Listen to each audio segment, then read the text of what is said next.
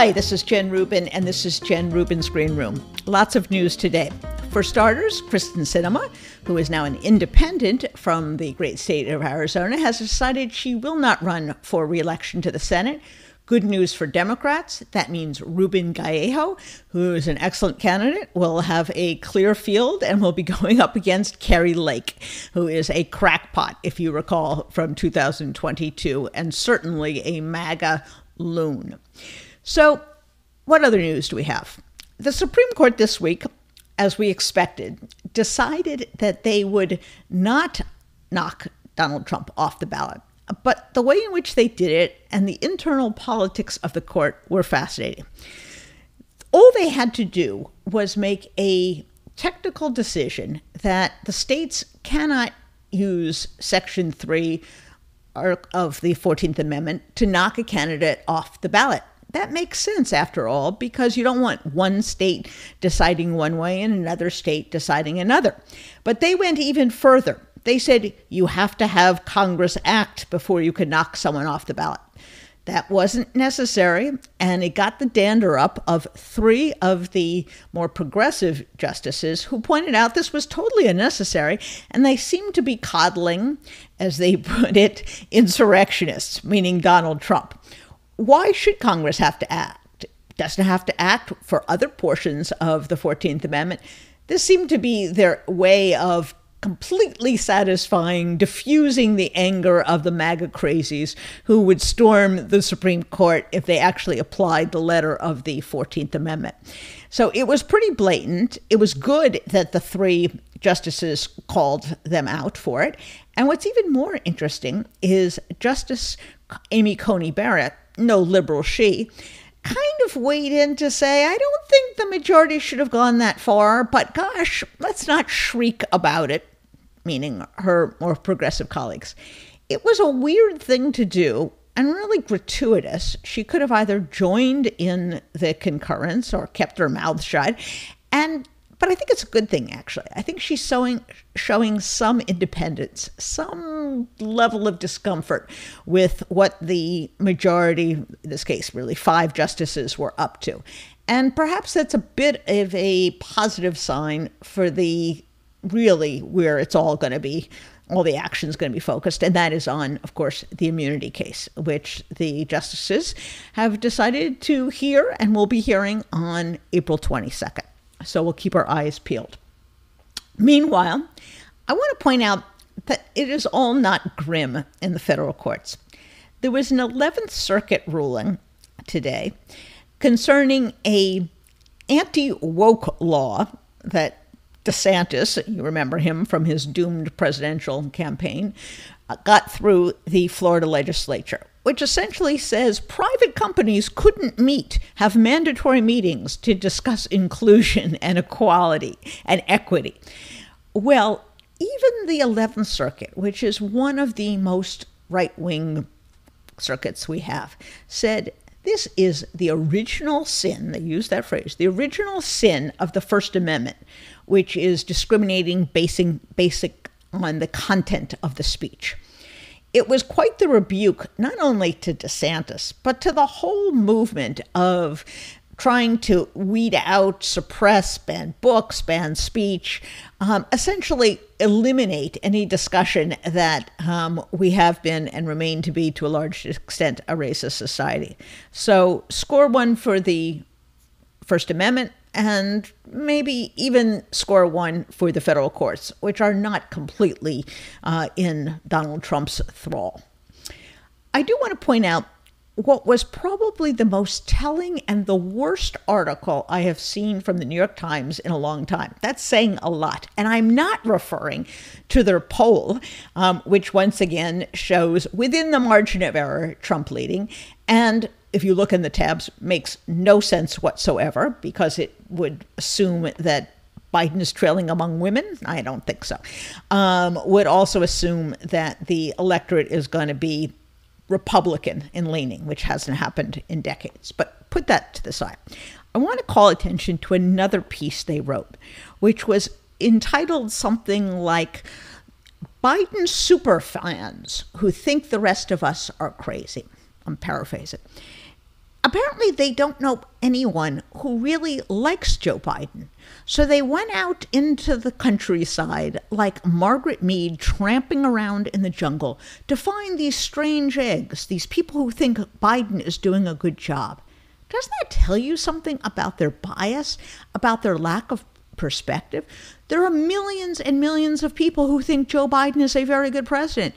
And a lot of them, by the way, are women of color, men of color too. Don't they know any of these people? Are all of them cynical urbanites, white like themselves?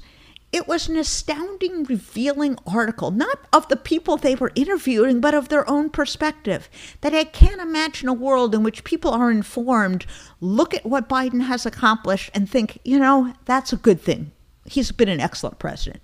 That's their mindset. Well, we are not going to get fair shake from the mainstream media, I will tell you.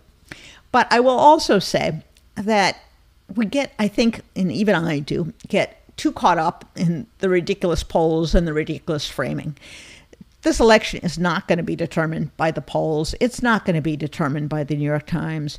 It's going to be determined by Biden getting out there, repeating over and over and over again the simple message he's been a good president. The other guy is crazy and is leading us down the garden path to tyranny. That's it. That's the message.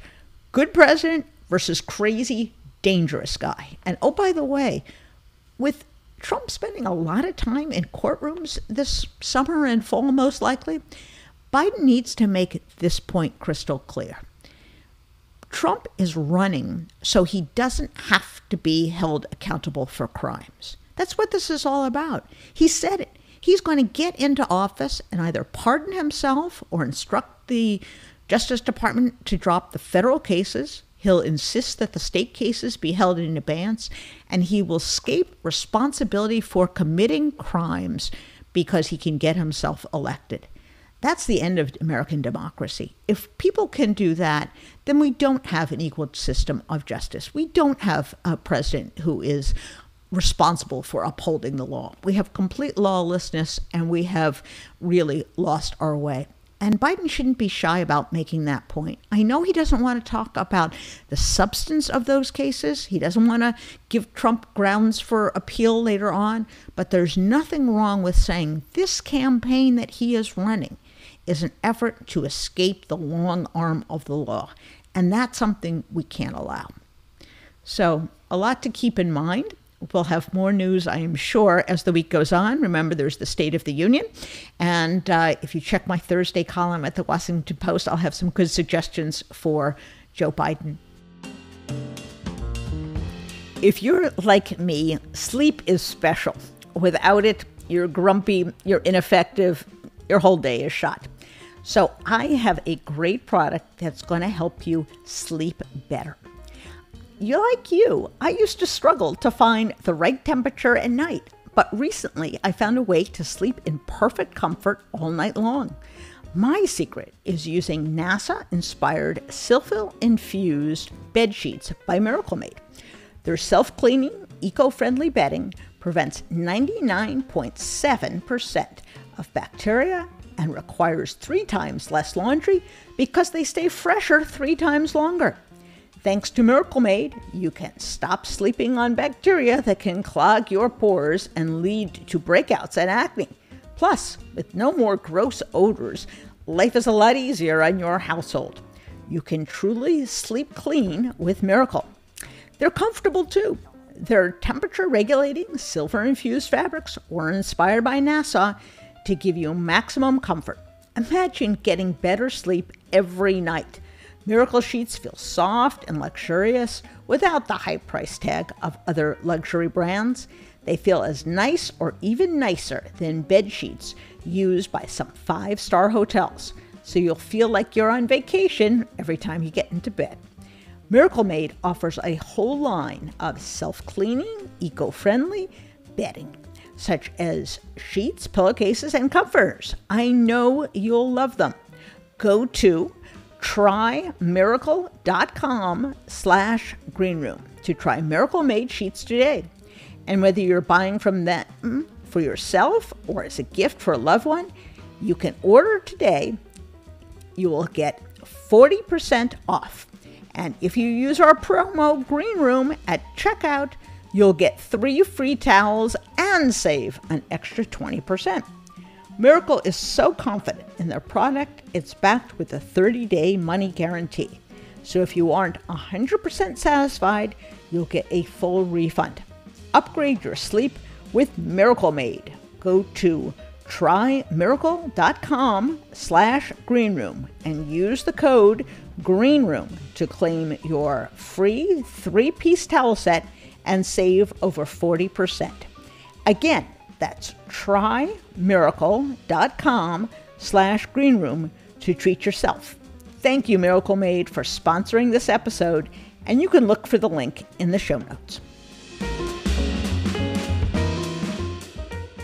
When we consider the state of American democracy and the threat from really a fascist right wing movement, it's important get context, and that is the one thing the mainstream media never gets. It's important to have historians, political scientists, people who have studied violent movements, and there's no better person to talk to us about that subject than Kathleen Belew. She is a professor at Northwestern.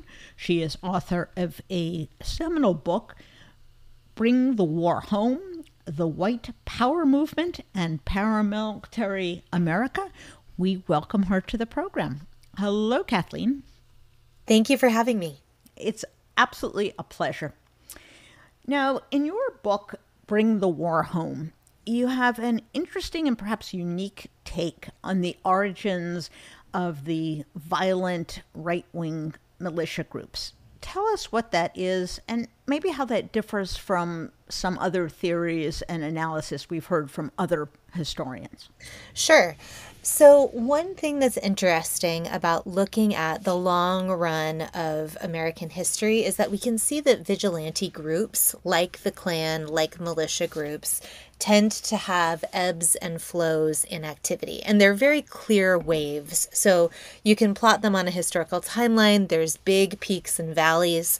Um, sometimes they're understood as discrete and sometimes they're understood as connected.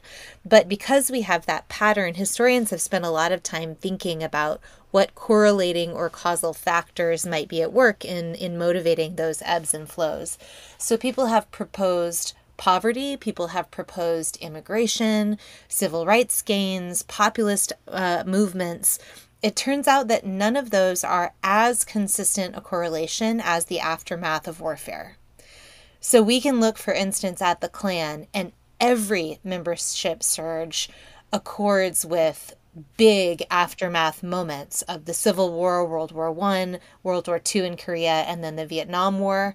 Um, and uh, that I think owes in some part to opportunistic recruitment um, rather than sort of a one to one relationship of warfare and post war activism. But it is a very consistent factor. Um, and I think that it means that now, in the aftermath of the global war on terror, we, we can look around and see that we are again in the middle of a surge. Well, that is a scary proposition. But let's go to the issue of warfare.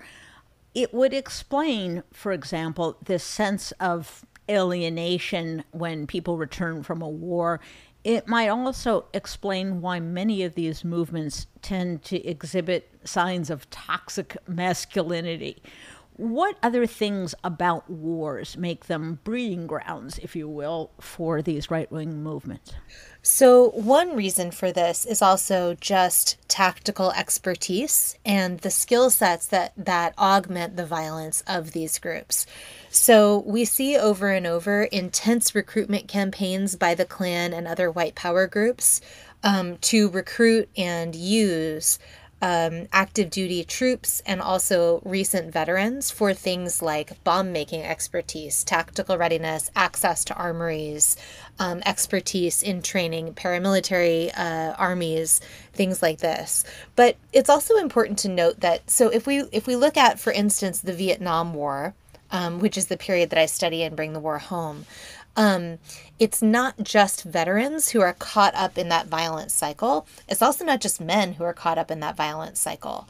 Um, I think perhaps part of what's happening is the outsized influence that veterans and active duty troops uh, wield within these groups because they have that command expertise.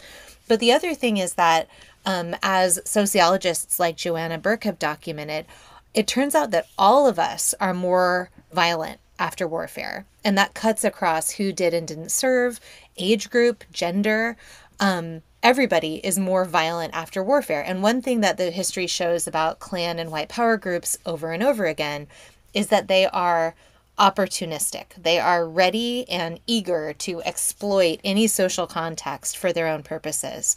So I think part of it is that sort of expertise and readiness and the, the tactics that escalate violent capacity which they get from veterans. And I think it's also that they are opportunistically using this kind of broader moment of opportunity created by the aftermath of warfare in society more broadly. So, the war in Vietnam ended in the mid 70s. Uh, in the 80s and 90s, we certainly had an uptick of these groups, and we had the Oklahoma bombing. Do these groups directly relate to the Vietnam War? Do they reference it? Are they people who actually fought in the war or who were deeply affected by it? So, yes and no. Um, what happens in the late 1970s is that a lot of groups and activists, and I'm using that word just for people who want to take action to achieve a particular result. I don't mean it in a positive way in this moment. Um, but groups and activists on the far right who had previously been at odds with each other came together around this shared story of the Vietnam War. Some of them had fought there and were deeply impacted, some of them had not. But that story had tremendous cultural currency. Um, and it worked to bind activists together. Um, it worked to sort of paper over some of the bigger uh, differences between these groups. Um, and what happened is instead of the Klan and neo Nazis and skinheads and militias, what we end up with is a broad white power movement where activists are moving very freely between all of those ideologies. People are sharing money and weapons and symbols and communications um, and really working together in an open war on the federal government from 1983 um, forward. Certainly, that's the same movement that propagated the Oklahoma City bombing. Um, it's also the same movement that was responsible for events like the Greensboro shooting in 1979, where four, excuse me, five leftist demonstrators were killed, um, the assassination of Denver radio host Alan Berg in 1984, um, and a number of kind of smaller events along the way. Um, and I should say also Ruby Ridge is a white power event as well. So this is a full sort of arcing history up to the Oklahoma City bombing. It's also the same movement that is active in our present uh, moment. We'll definitely get to the present. Let's um, first um, look at what it was that the Vietnam War did. It's hard to think back that before that, we had groups actively looking to overthrow the government they may have been alienated, or the Klan was there to, frankly, uphold the Jim Crow structure that the government was imposing. But this became something different. They turned against the government. Why did that happen? And was that somehow related to the experience of, if not defeat, at least not winning the Vietnam War?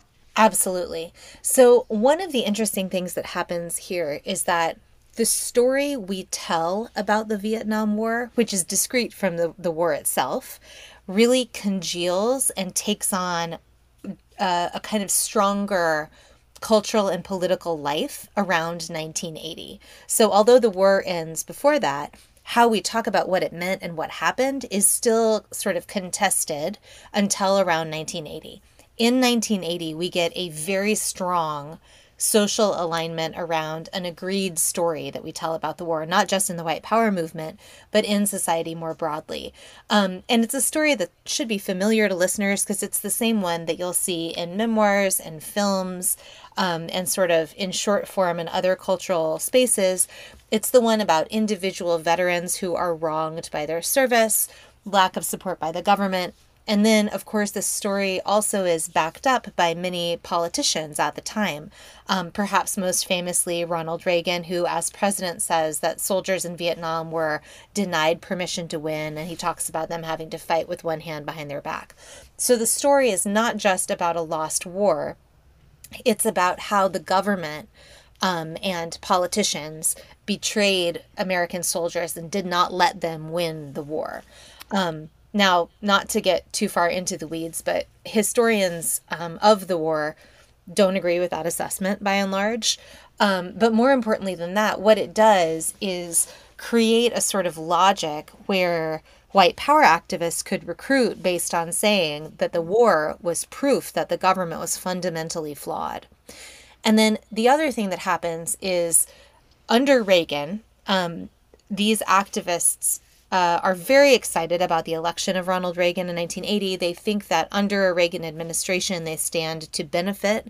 And then they are very frustrated because the kinds of policy changes that he enacts are way too moderate for the white power movement. They want things like reestablishment of Jim Crow or return to slavery or establishment of a white minority rule system like in South Africa, things like this. Um, and it's clear to them that that's never going to happen. So they have a series of conversations where they decide, okay, politics is over it's just time for revolution. That's significant that that happens under a you know right wing president. It's not under the carter administration even though these groups were active then. Um, so it's a it's a move towards revolutionary warfare and that comes in 1983 it is fascinating in that the stab in the back mentality is exactly what Hitler used following World War One to galvanize the German people, that the government had sold out the German people. Um, is that a coincidence, or does that have a internal logic um, that is just irresistible to right wing movements? Well, I mean, in some cases, that's a direct import for neo Nazis who followed that ideology. They're they're using that very deliberately, alongside ideas about um, needing to populate the land and needing room to grow, that also accord with German ideas about about that that were put forward by Hitler as well. Um, and certainly, they are reading and sharing Hitler's writings. They are talking about those. Um, uh, about Nazis as sort of like minded activists. They're following the trials of former Nazis as they are covered in the 1980s. Um, all of that is like live. Uh, political ammunition for the movement, as it were, but it's also sort of a um, you know that that idea of being denied permission to win in Vietnam is also just a overwhelming um, I guess I would call it like a cultural truth at that moment in the 1980s. Like it is it is far from only the white power activists who are interested in that idea or find it compelling. This is when we have you know the a series of uh, memorial parades and welcome home parades that are held like way later than actual homecoming we get the, the discourse about people having been spat on and not welcomed home. Um, historians are also now excavating whether that is a story or a thing that actually happened in large numbers. Um, all of these things about how we how we tell the story and what it means for our country are very much up for debate in that moment. Um, and so the settling down on that denied permission to win story um, that's it's not just the white power movement that does that. That that happens through our collective storytelling about the war.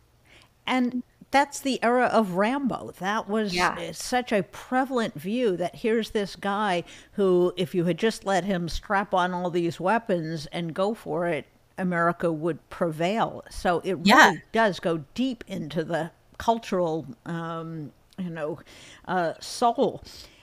It is interesting that these groups also change or seek to change the role of women.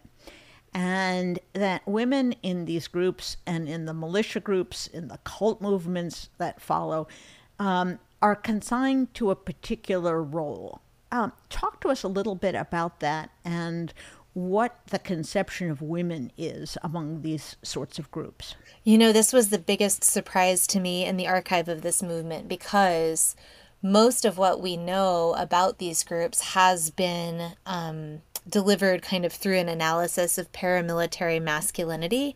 And that's right. I mean, their their first mode of engaging is to put on military uniforms and military grade weapons and march down the street, um, or to secretly train in paramilitary camps. Um, and women are not usually welcome at those activities, although there are some exceptions.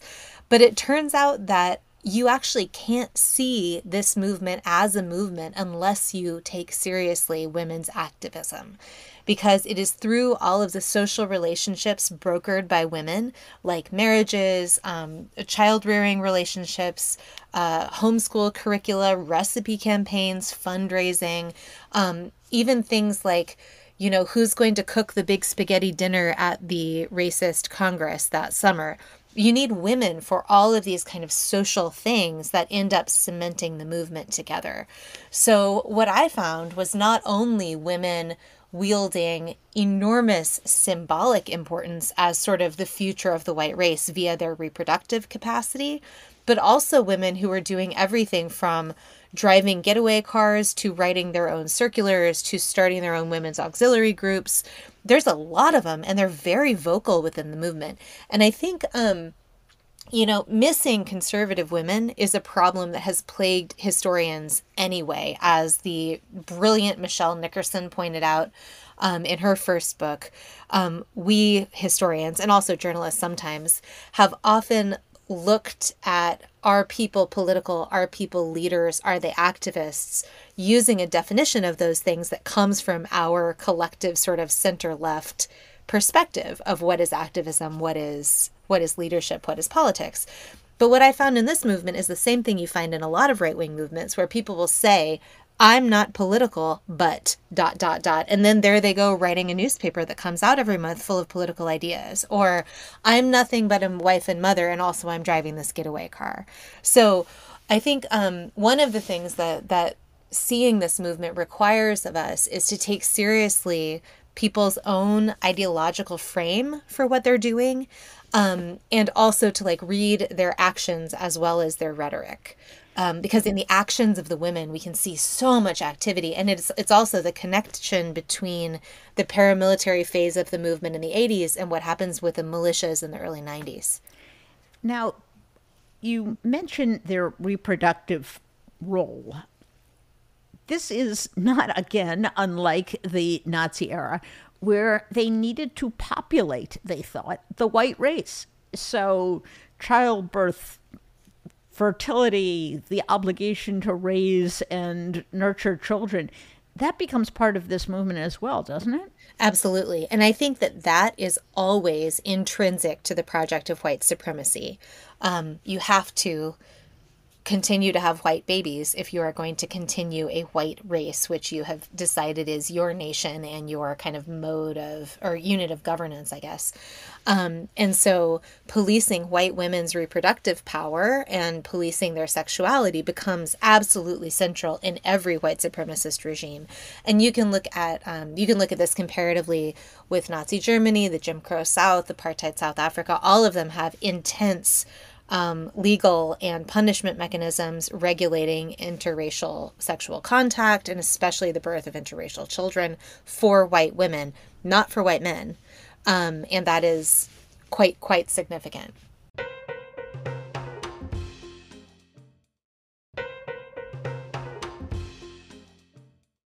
Let's fast forward to the present or the present ish and talk about where you see the tentacles of this movement. You can look at what's going on in the United States in sort of concentric circles. You can yes. talk about everyone in the Republican Party. You can talk about people who wear MAGA hats. You can talk about people who run for office and pledge obedience to Donald Trump. And then you can get down to the people who went on January 6th and tried to overthrow the government with violence. Where in those circles do you see the influence of these right wing militia groups, is it confined to that center core of hardcore activists, or does it radiate out beyond that? It certainly radiates. So um, I think we need even a little bit of a finer grained parsing in the middle. Um, so if we think, for instance, about January 6th, we're really dealing with three discrete sort of strands of people. One is MAGA, which you know, even within the group that went to protest on January 6th, there's a, a, a, big range of how intensive and how radical those folks are. Some were there to simply voice their concerns in public space. That's everybody's right. Um, some were there to break things and cause trouble. That is extremist and sometimes violent speech, right? So there's a continuum even within that group. Then there's QAnon, which is conspiracy theorists. Um, in some ways, that's working the same as every conspiracy theory throughout the 20th century, like Protocols of the Elders of Zion, Zog, Great Replacement, Deep State, you know, pick your poison. It is all variations on a theme. In some ways, QAnon is a little bit different because of the speed and depth of radicalization. But um, as a historian, I still feel like we're a little too close to it for me to tell you more than that. um, and then finally, we have the smallest group, but the most organized group, which is the white power activists. These are the guys that are in groups ahead of time that had organized plans for what to do on January 6th, showed up in tactical gear, showed up with radios. They're the first to breach the buildings, and they're the ones who are now being convicted right and left for seditious conspiracy. Um, that is a material difference uh, between them and people who are sort of casual participants or even people who are radical participants who aren't uh, kind of in group like that. But what we have to think about is that any one of these events that we talk about when we talk about the problem of white power activism or white nationalism is connected to many other social problems in the present. The history shows us that this works with both public facing action and underground action. So the public facing action is, um, you know, January 6th, Proud Boys marching, um, Patriot Front marching and getting arrested, people showing up to pride parades and drag story hours, people trying to climb the ranks of the GOP in various local contexts um, and people sort of figuring out where they fit in, in in mainstream politics if they want to take that route. That's all visible to us. There is also the underground, which is very difficult to see in real time. Um, for my money, we won't really know the full story for another 10 years at least, unless somebody dramatically changes declassification law. Um, and that we have to think about like the string of mass shootings carried out by white power gunmen, including Buffalo, the Tree of Life Synagogue, um, El Paso, um, Christchurch. You can go on and on like this. Um, it also includes very likely attacks on power stations. We know that there's been a string of attacks on power stations, and we know that white power activists are circulating manuals encouraging people to attack power stations. So, um, you know, that's a question mark, but it's a big question mark. Um, and then it also includes arrests of groups like Atomwaffen and the Base, who have been involved in, um, you know, intensely violent underground activity. So all of that together is kind of where the movement sits in the present. And it's an incredibly difficult thing in real time to try to connect all of those dots. Um, I've come to feel that learning about the earlier movement is a little bit like learning a language, where once you have become aware of how this all works symbolically in ideology and how it fits together, um, a common response is to look around and go, oh my gosh, there's a lot of this, because there is quite a lot of it right now. Um, and the pieces really do um, sort of fall into place once you are paying attention. Fascinating. Now, even before January 6th, shortly after the election of Donald Trump, you had Charlottesville and you had the neo Nazis, you had the theme of they will not replace us, you had violence. What were the origins of that? And both going forward and backward, where did they come from? And then how did they wind up, you, do you think, in January 6th and going forward? So I think that the major function of Charlottesville, the Unite the Right rally, was to sort of bring all of this back into our mainstream public political space. It had really gone underground for a while. Um, I would say between around 1996 and 2017, we know less about that period than before or after for a variety of archival reasons.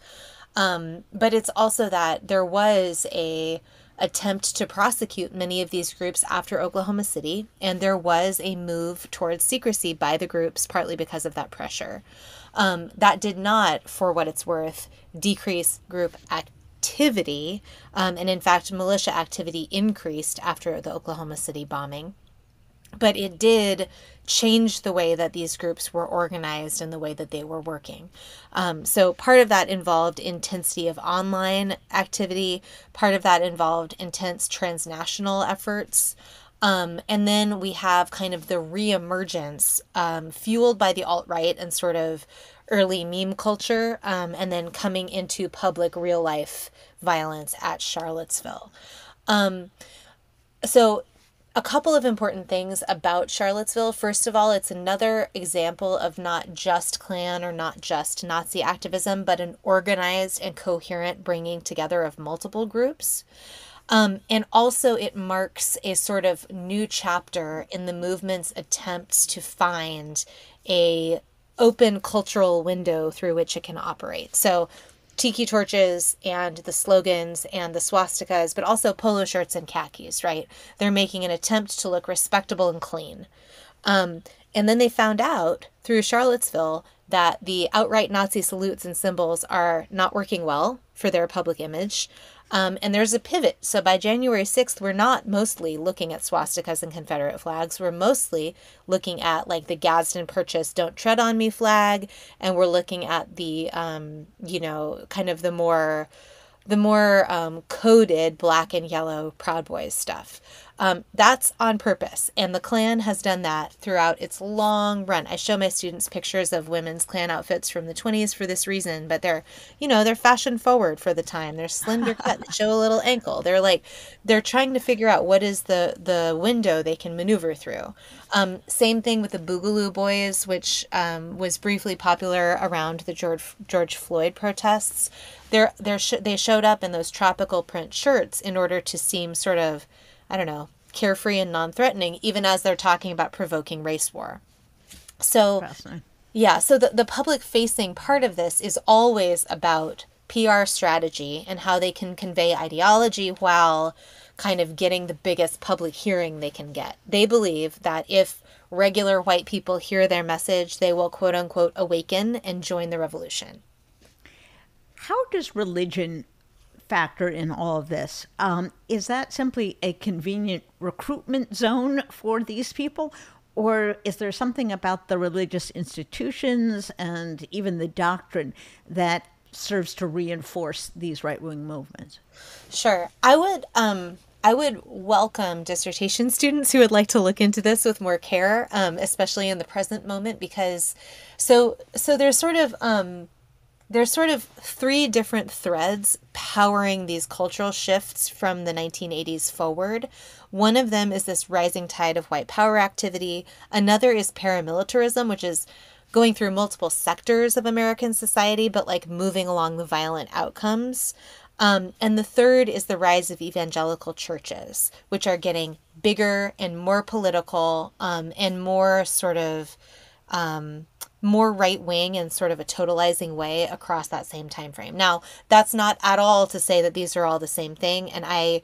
Uh, you know, it's it's not the same thing to write about the white power movement as to write about Christian nationalism, but certainly Christian nationalism and white power activists have some objectives in common.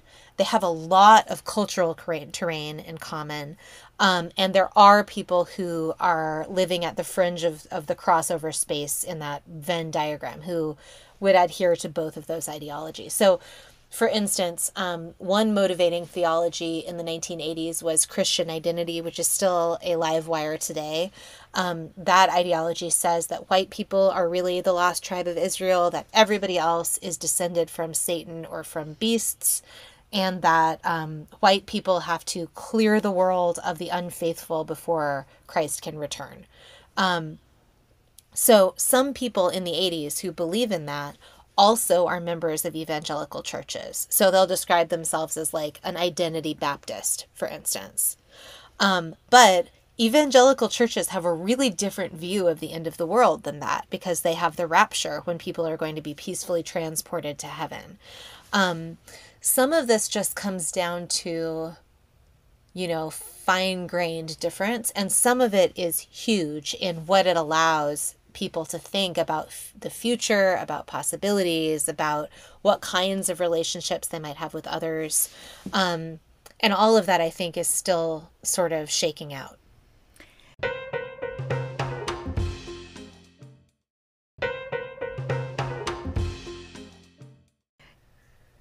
Trump comes down the elevator in 2015 and either intuitively, like a feral animal, or through his advisors, he begins to amplify and encourage these movements, whether it's the moral equivalence at Charlottesville, whether it's the strong push to born to uh, ban abortion, whether it's the hyper um, paranoia about an invasion on our southern border. Is this a coincidence? Is he kind of echoing back what he's hearing from the base? What's the relationship between him and these movements that really pre uh, previsaged um, the rise of the MAGA movement that uh, predated Donald Trump? Sure.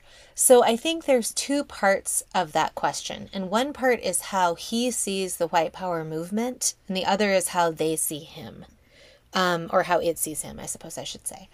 Um, I was very reluctant for a very long time to even imply anything about what Trump might be attempting to achieve or do, or, or even farther than that, what he might believe um, because you know, of the many journalists and historians who have now devoted their entire careers to trying to figure out what's going on um, in his set of motivations. I like, I it's a full time job, and I'm not yes. a Trump expert.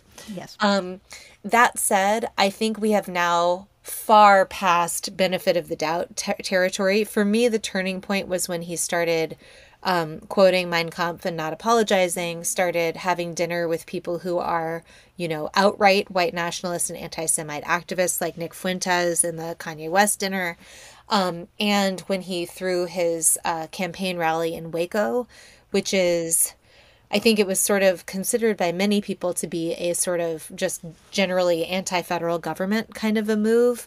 But within the white power movement, that definitely is a call to violence. Um, and there's no way at this point that he's not surrounded by people who would know that. So I think we have now, you know, I, at the beginning, I, I wondered is it just that he's interested in like mobilizing these people to vote for him? I don't think it's that. I think that there is a deep affinity between Trump's policies and the the political outcomes desired by white power activists. Um, I think it is at least that they are common travelers, and I I think it might even go beyond that, but it's hard to know. Um, now, what it means for the white power movement to have somebody like Trump, um, I think is probably a deeply divisive thing in the movement. My guess is that we would find people, because as we talked about, they turned revolutionary before when they thought politics was a closed door and they couldn't achieve anything.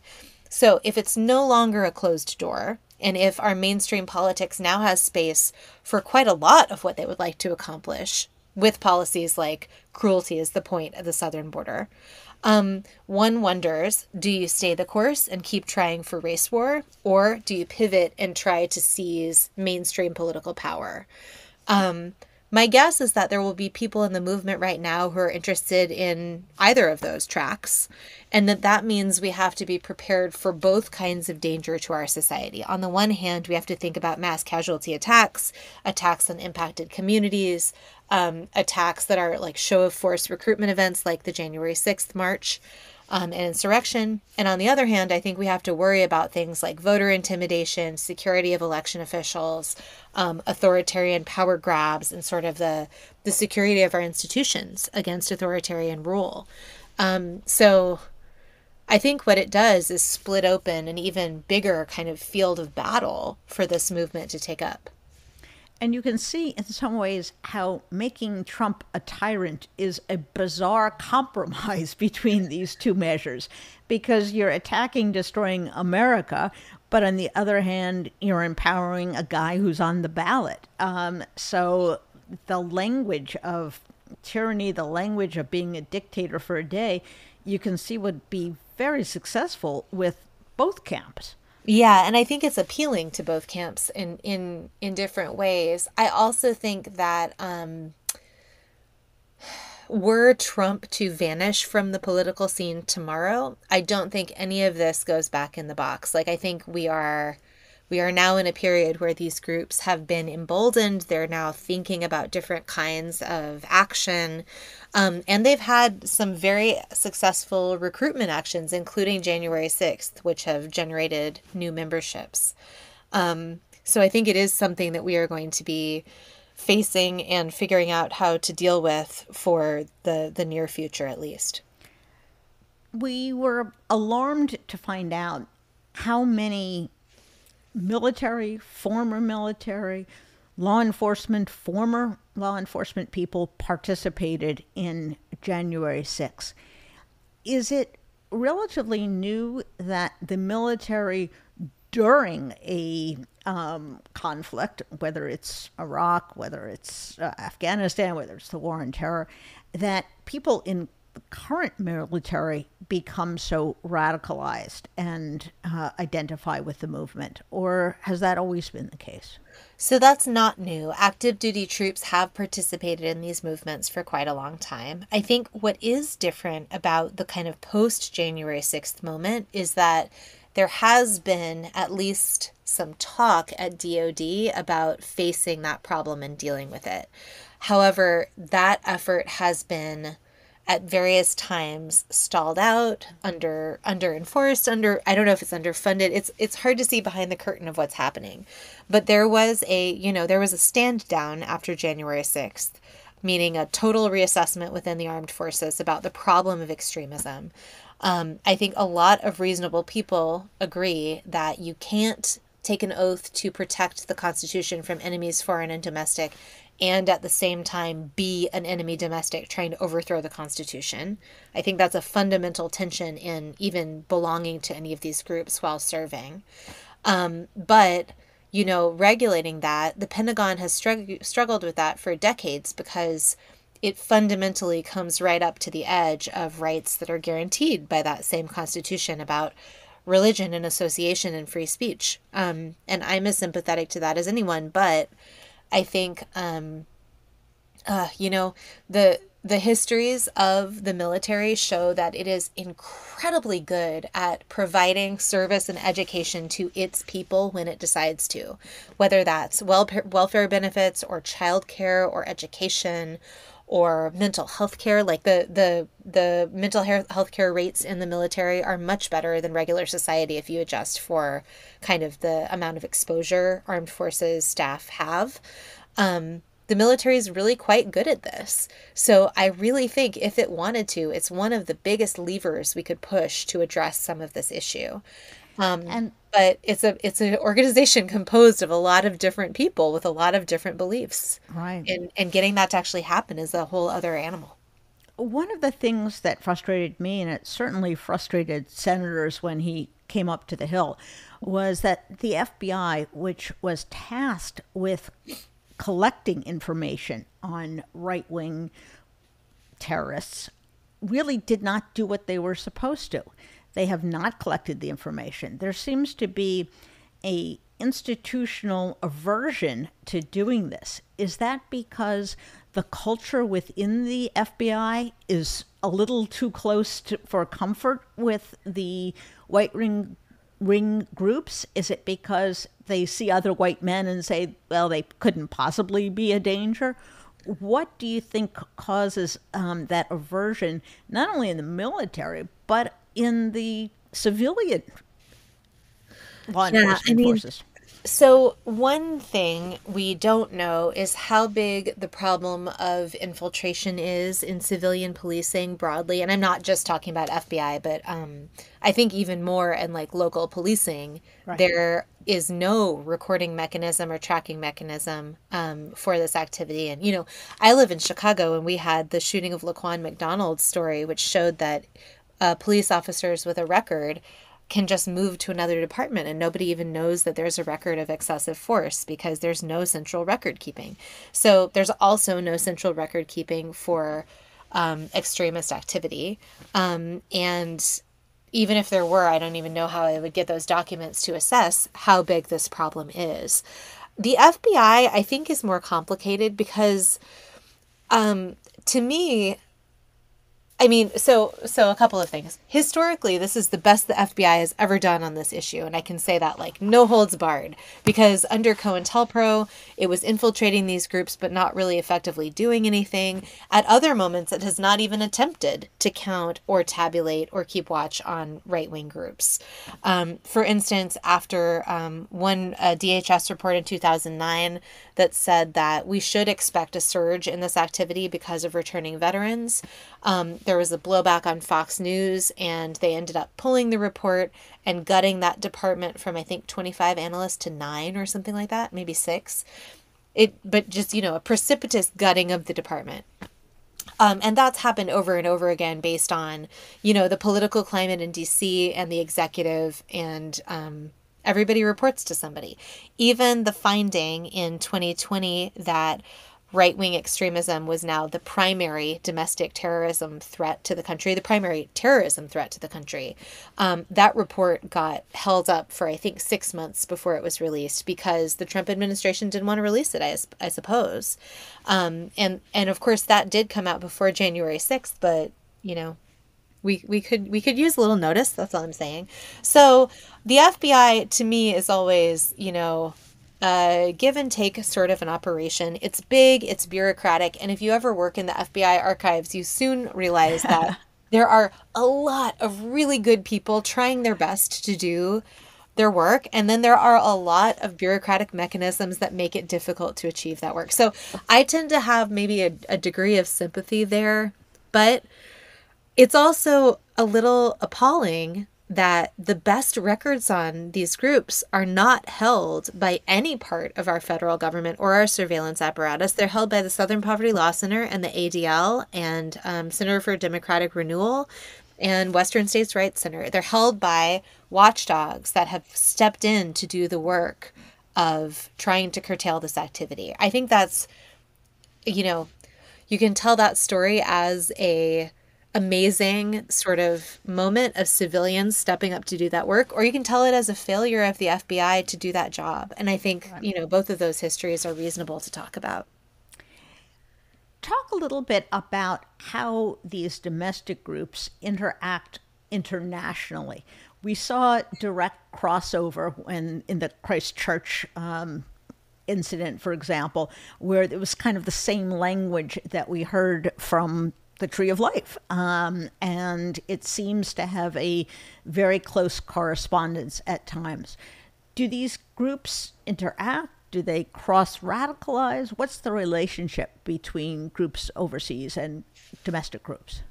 This is another area that I think is um, new in terms of the historical research, but these are profoundly transnational groups and they have been for quite a long time. So, Aryan Nations, which was one of the larger and more organized groups in the 1980s and early 90s, was sending its material to other countries um, and also into prisons in a very organized way. Um, World Church of the Creator put up uh, chapters in multiple other countries. Um, and those are just the US groups. There were also German activists coming into the United States to share information with groups. Um, there's information moving back and forth across the Canadian border, and all of that is before they really got going with the internet. So the internet, I think, has just dramatically um, made more efficient and faster that work of connecting people ideologically across time and space. Um, so, you know, if you think about somebody like the Christchurch gunman who grew up in Australia, he would have been able to access white power content by mail order catalog and cassette tape for many, many years, and then also online in the recent past. So these are long and sort of um, robust transnational ties between people and groups. Fascinating. So we come back to how the heck do we deal with this? what do we do? Is there historical evidence about diffusing or diminishing the influence of these groups? Or is it simply a law enforcement problem? Um, what's your take on a solution or a, at least a way of containing the problem? Sure. Well, I think any historian of the United States will want something that goes beyond a law enforcement and court solution because we know that we have a lot of racial inequality built into those systems um, and that those systems have not done a great job in constraining the violence of primarily white men. Um, however, we need those too because I think that personally i think that they are too too highly organized and too too well well armed to not need those tools. But i think we also need education. I think we need social services intervention. I think we need de-radicalization mechanisms. Um, and i think we need a whole bunch of upstream work about disinformation and recruitment um, so there is a institute that perhaps you can link to on your podcast. Uh, American University has the Peril Institute, um, which has excellent response materials for community members, parents, educators, local politicians about what to do if you see this kind of activity in your neighborhood or in your newspaper or elsewhere, what you might think about doing. Um, I would encourage everyone to just do the work. And I, this is not a small thing. The news is like a fire hose of information. And I know that asking for your attention is an ask, but if you can try to pay attention to this problem and do the work of connecting these stories together and encouraging your media to connect the stories together, I think that is a huge thing people can do. Um, and finally, I would just note that the problem of disinformation and radicalization tends to fall on people who have few resources and allies in our society, like school librarians who are the people looking over the shoulder of kids going on YouTube, right? Or busy parents who don't have childcare and they're using the internet as a babysitter, right? These people really can use help. Your neighbors can use help. Um, and in your community, there will be places that you personally can help. So I would encourage people to look through those resources and maybe maybe think about is there a way that you can reach out to your neighbors about this problem. We will definitely include a link to the American University um, site uh, in our uh, show notes. Let me um, raise a personal bugaboo, which is the press seems unwilling, unable to contextualize this. Yes. We are getting a view of this election as if it were any election, that these are two parties with different views, different leaders. Okay, this guy's old, this guy's head of a fascist movement. You know, it's um yeah. it, it is just a willful aversion. Is there something about our press that makes it uniquely incapable is that they need to have historians on board, which I have actually suggested that they should have historians working.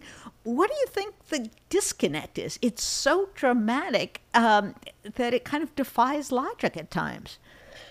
Um, there was a, a brilliant Daily Show opener about this this week where um, Jon Stewart has returned to hosting the Daily Show, I think, out of a, a sense of obligation to this right. moment. Um, and his reporting staff was sort of doing a shtick about, like, I'm reporting from the diner. I'm reporting from the more rural part of the diner. I'm reporting from the most comfy part of the diner. And it just, I so appreciated it because it does feel like we're reading all the same stories again. And, you know, it's hard. I, I, I, I, I would never be one to blame journalists because if you look around at all of these layoffs and the way that journalism has become so constricted um, in what people can write and how much time they can spend, I totally get it. This is a really hard thing to see all at once in real time. So I would I I would love to be a resource for journalists. I know other historians would love to be a resource for journalists. There's a old yellowed clip of an onion article on the, the refrigerator in my department lounge, the history department, that says local historians remind everyone to please just ask them before making any big decisions. Like and I, I feel great. that, you know. On the other hand, like I think there are other ways that this is a bigger problem than journalism. We need filmmakers to make the bigger story about this. We need people doing those long form projects to engage these really hard stories. We need to be able to tell the other kinds of stories and it's it's often not something that you can fit into an article um, or even into a series. You could you could read everything about the Proud Boys if you're a Proud Boys beat reporter and write an excellent series about the Proud Boys without ever talking about the rest of it. You know exactly. Um, it's a story problem, and it's I think it's it's too big to fall on any one person or any one industry. So I I think I think what's called for is everybody, you know, staying tuned in and doing their best work. Um, not just about this, but as we come up to this incredibly important election. Well, I would implore historians to write a guide, an easy to follow guide for journalists, and also to traverse um, the quad or wherever they are over to the journalism department and teach sure. some classes over there. I will um, say I have a, an edited collection called A Field Guide to White Supremacy that includes some suggestions for the AP style book along it, these lines. That is fabulous. Do you have a link for that that we can also include in our oh, show sure, notes? Yes, we I would, can send that to you. Yes, and it's it was meant to, to be just a like if you're falling into this story for the first time and you don't know anything about this yet, here's just some quick background and maybe some people you can ask if you want some context. So, so I'm always trying to think of ways I can be of use, and um, you know, if you have anything like that I can help with, please let me know. Brilliant, brilliant. We will definitely put it in. So let me conclude with asking about what you're working on now. Um, do you have a book coming out? Do you have a new area or a further area that you're taking a deep dive into? Yes. Um, I'm interested in the history of how we get to a cultural acceptance of school shootings and mass shootings such that we get to this thoughts and prayers and then we move on cycle. Fascinating. Um, and it's a discrete period that starts in 1999 with the Columbine shooting. So I'm interested in sort of the the story of how we get to that and what else might be possible if we unfurl that story. Fascinating. Well, Catherine, Kathleen, excuse me, Belew, thank you so much. It has been a fascinating discussion. I would urge uh, our listeners to all pick up a copy of Bring the War Home, the White Power Movement and Paramilitary America. Thank you so much. And uh, as this progresses, unfortunately, I fear in the wrong direction, we will have you back on to help guide us through. Well, I'm happy to help whenever I can. Thank you very much for having me. And that was Kathleen Belew. Gives us a lot to talk about and a lot to think about. Whatever you think the origin of the current movement is, whether you think it's going back to the Civil War and the KKK, or whether you see its roots in the Vietnam War, or you see it as part of an international fascist movement. Understand this it is not normal. It is not normal American politics in operation. It is something foreign to the spirit and the ethos of our Constitution. It is a threat to our democratic values. And the press, God love them, will never, never say it. Why? Because they don't want to accuse tens of millions of people for following a fascist cult, which is what it is and what they're doing. And because they insist upon this pose of neutrality. Well, on one hand, Biden is old, on the other hand, Trump has these ideas about letting an enemy of the United States invade NATO. You know, that's the kind of mental hijinks we get from the press in an effort to pretend they're neutral, to deflect any allegations that they might be have a liberal bias. But in fact, they wind up misinforming us, under informing us. And so you have to maintain context and you have to remember that in American politics, we have never had someone as president or a former president who identifies with a violent right wing fascist movement. We've had such figures before pop up from time to time, but they've never gotten as far as the White House and they have never gotten to the nomination of a major party. And that's what we're up against. So it's important that we explain this to our friends, our family, that we use our network to inform people, and that we keep in mind that what is at stake is nothing less than the survival of our freedom, of our democracy, of the rule of law. If you enjoyed this program and you enjoyed our other programs, please tell your friends. They can subscribe at Spotify, YouTube, Apple Podcasts, or wherever they get their podcasts. Bye bye.